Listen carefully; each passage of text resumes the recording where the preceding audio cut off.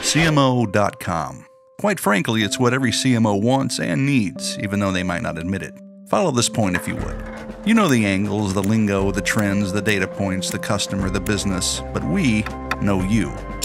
We know what kind of time you have, or better yet, don't have. We know you're crisscrossing the globe and need to have tomorrow's new thing in your inbox today and on your phone yesterday.